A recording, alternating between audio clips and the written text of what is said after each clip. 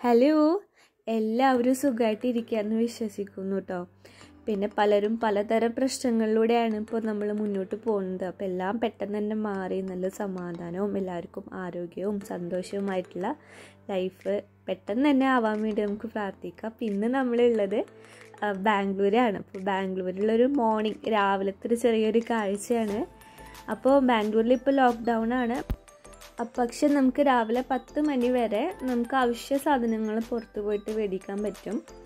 അപ്പോൾ അതുവരെ നമുക്ക് ആവശ്യമുള്ള ഗ്രോസറീസും അല്ലെങ്കിൽ പച്ചക്കറികൾ അങ്ങനത്തെ കടകളൊക്കെ തുറന്നിട്ടുണ്ട്. വേറെ ഡ്രസ്സോ അല്ലെങ്കിൽ അങ്ങനത്തെ ഐറ്റംസോ ഡ്രസ്സ് ചെരുപ്പ് അങ്ങനത്തതൊന്നുമില്ല കേട്ടോ. നമുക്ക് ഏറ്റവും ആവശ്യമുള്ള സാധനങ്ങളാണ് കിട്ടണത്.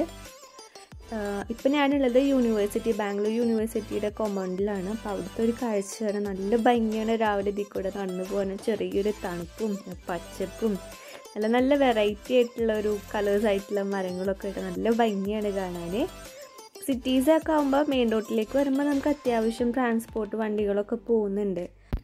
പന്ത്രണ്ടാമത്തെ സെഞ്ചുറിയിൽ ഒരു വീരബല്ലല എന്ന് പറഞ്ഞിട്ടൊരു രാജാവ് ഉണ്ടായിരുന്നു. അപ്പം അദ്ദേഹം ഒരു കാട്ടിൽ വഴിതെറ്റി പോവുകയും അവിടുന്ന് ഒരു വയസ്സായ ഒരു സ്ത്രീ അദ്ദേഹത്തിന് ബീൻസ് വേവിച്ച് ഭക്ഷണത്തിന് കൊടുത്തു. അതിനെ ബെന്ത കൽ ഊരു അതായത് ബെന്ത ബീൻസ് നാട് ഊരു നാട് എന്ന പേര് ബാംഗ്ലൂർ എന്നുള്ള പേര് വന്നെന്നാണ് ഐതിഹ്യം ഉള്ളത്. അപ്പം നമ്മൾ പച്ചക്കറി കടയിൽ എത്തിയിട്ടുണ്ട്. നല്ല ഫ്രഷ് പച്ചക്കറികളാണ് നമ്മൾ പ്രത്യേകിച്ച് രാവിലെ പോയിട്ട് മേടിക്കുന്നതുകൊണ്ട് തന്നെ. കമ്പാരിറ്റീവ്ലി നാട്ടിലെ കമ്പയർ ചെയ്ത് നോക്കുമ്പോൾ വിലയും നല്ല കുറവാണ്. പിന്നെ ഇപ്പം നമുക്ക് എപ്പോഴും എപ്പോഴെപ്പോഴും എപ്പോഴും പുറത്തങ്ങനെ ഇറങ്ങുന്നതും നല്ലതല്ല ഷോപ്പിന്റെ ടൈം ലിമിറ്റഡ് ആണ്. അപ്പം അതുകൊണ്ട് തന്നെ കേടാവാത്ത പച്ചക്കറികളാണ് കൂടുതൽ മേടിക്കുന്നത്. ഇപ്പോൾ തക്കാളിക്കൊക്കെ എട്ട് രൂപ ഉള്ളൂ കേട്ടോ. പക്ഷെ നമ്മൾ ഇത്രയും മേടിച്ചു കൊണ്ടുപോയിട്ട് വെക്കുമ്പോൾ അത് കേടായി പോവാണ്.